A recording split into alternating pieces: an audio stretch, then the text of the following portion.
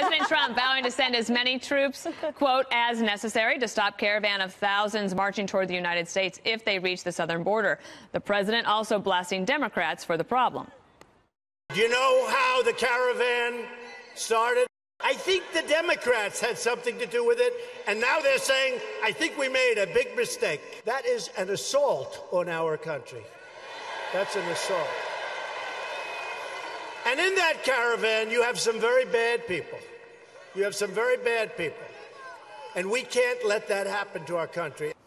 Trump also not backing down after saying terrorists and gang members may be among the migrants.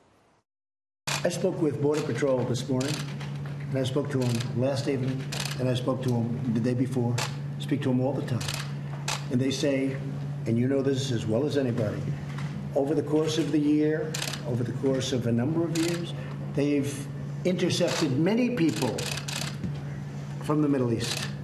They've intercepted ISIS. They've intercepted all sorts of people. They've intercepted wonderful people for the Middle East, and they've intercepted bad ones. They've intercepted wonderful people from South America. President Trump continuing to ask, answer questions from the media. I did want to play this one more soundbite um, from uh, just something you're just not going to believe about what was said about our military. Watch this. If you put military down there, we know what the God forbid is in this situation. And then how does it play? How is that good for anybody if, because, you know, you're not going to turn away thousands and thousands of people, even if people start getting shot. And what message does that send? Who wins in that? It did surprise me a little bit that he would say that because our military is not known for going after innocent people. They are there to try to protect the border. So, anyway, we'll start with you, Greg, on this issue the caravan not stopping. He's not very bright, is that Cuomo fella? Well, that was not a nice thing to say. It wasn't. It wasn't a nice thing to say. No, it wasn't. I just wonder about the media because they they they tend not to ask the very specific questions like how did the caravan start? Who called it a caravan? How is the event being managed? Who are the people managing it? Um, they always keep saying that the caravan is blooming, like it's some kind of natural event, but it's actually, or, or, that it's spontaneous. But no, it's actually quite organized. Uh, it's organized by uh, actually Mexican advocacy groups. And then when you get to the sizable group of people in which you can't tell who's in the group and who isn't, which is why you need a process, because it could be there could be terrorists, and obviously there could not be terrorists. But who's going to know? So the media then takes the narrative and they twist it. So after helping the onslaught multiply, right, they accuse Trump of seizing it, seizing it as an issue when beforehand it was the media and the advocacy groups who had seized on this spectacle to begin with to create an ugly political issue. And then they go, but look what Trump is doing. They're a bunch of hypocrites. And you know what's even sadder? Avenatti is telling the Democrats to grow a spine. When Michael Avenatti becomes your voice of reason for your party, you're in trouble. Yeah, that's, uh, uh, talking about that in terms of the media coverage, um, some media critics saying that um, that the media should not take President Trump's words and use them, so that onslaught was too strong. That they think that maybe that there's some softer language that should be used because they're doing his bidding.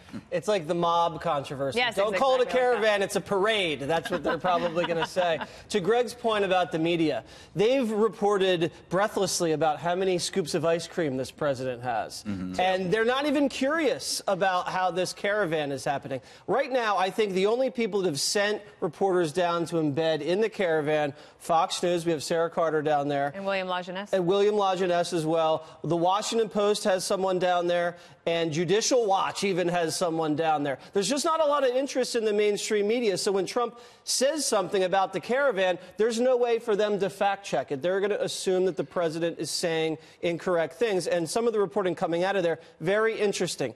80% of those people in the migrant caravan are males under the age of 35. And they're not fleeing violence. These are economic refugees. And you know what they told the Washington Post? When they get there and start making money in America, they're going to wire the money back to El Salvador. Some of these people are gang affiliated. A lot of these people also have been previously deported, and that's been mm-hmm. confirmed. So if they're really that upset about the conditions in their country, instead of marching up north to America, march against your own corrupt government. That would solve a lot of problems, in my opinion.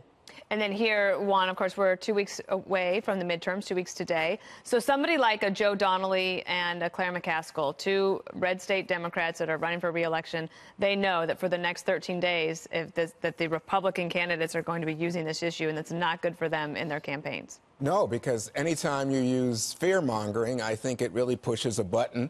And I think the president and the Republicans right now, absent a message for the midterms, have decided this is the button to push.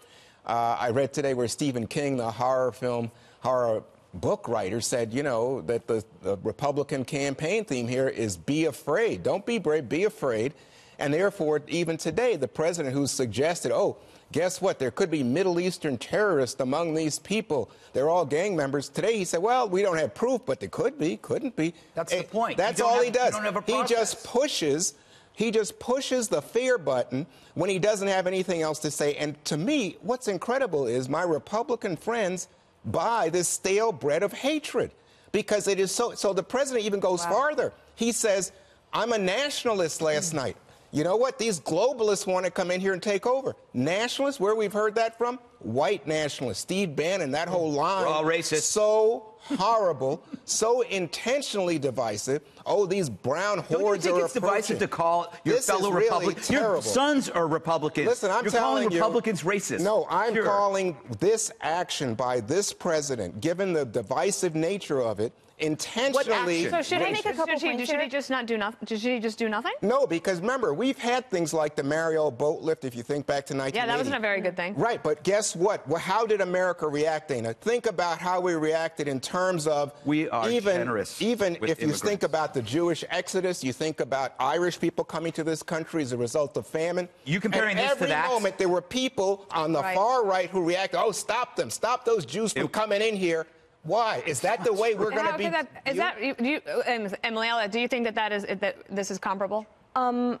No, and I also want I want to point out two things here. Number one, that this humanitarian crisis pre-existed this caravan, and to me, the mixed messaging and the hypocrisy is coming from the left, who are ignoring the fact that 16 journalists were killed this year alone in Mexico, and all of the attention is on Khashoggi, or the 600 migrants that migrants that were found dead in Texas because of the chokehold the cartels have on not only those uh, governments south of us, but also those people, including the fact that an entire uh, police office was arrested for corruption in Jalisco. So this, the border security is a small portion of the absolute crisis that is going down south, and the humanitarian crisis aspect of it is because of the porous border and the lack of the laws that we have to keep strong. And then secondly, about that, about the military and about those military comments, viewers need to understand that the National Guard comes under state authority, obviously, with federal funds. The president can federalize them.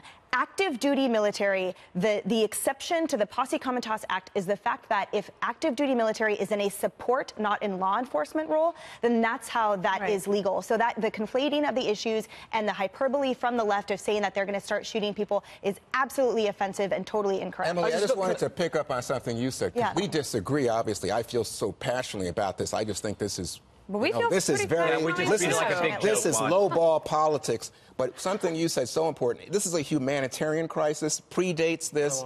And people should think of it in those terms because I think that conservatives historically have been empathetic, compassionate people, not like what this president is doing. Juan, I got to address some of the things that you've just said. Sarah Carter, one of your colleagues here at Fox News, went down there. Actually, you're not there. She's down there. She's a colleague, spoke to Guatemalan intelligence, and interviewed people in the caravan, and has confirmed that there's MS-13 affiliated gang members among the oh, caravan. If you're going to sit there and call your colleague a liar I'm while you're sitting on your tush in a nice air-conditioned You studio know- in Manhattan, I really think that's unbecoming. I Second think of all, that's- I think you have a not cheap- said what to do with the Gua- what are trick. you what are you going to do about the caravan, Juan? Oh, I you have you no what, plans to do anything true. about it. Are you Have you had anything Let you me- wanted I'll to add some of substance to what to do with this Sure. seven Well, you- are thousand you gonna keep strong talking or do you want an migration coming up north? Do you what want are you an answer? do? I think that it's very clear, given that Republicans control the White House, Enough the with the Republicans. and- What Oh, are no, you no. gonna do so when why they don't come they to the border, Juan? Why don't they fix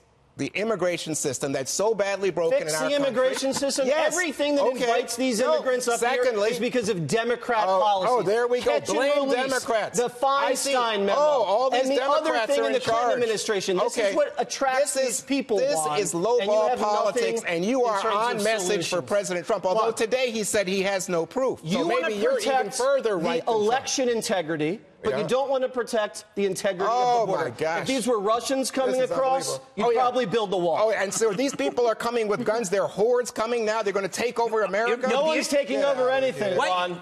Uh, according to Juan's logic, Mexico is also racist because they're trying to limit the immigration as well. They're sending troops to their border. So clearly the Mexicans are racist too, Juan. Oh, Everybody's racist if You they don't agree with you. you are If- so if, if you dis- obsessed if anybody with disagrees with ridiculous you, arguments you to are obsessed with race. That's no, your oh, problem. Oh, me. Oh, you. Your filter I is think, nothing but race. Yeah, I think you have a difficulty acknowledging where there's racial injustice and where someone is using a racial pitch to stir his base in order to try to That's do your better in the filter, midterm. Just Juan. trying to All right, we're gonna protect run. the borders, Juan. That's Okay. not racist.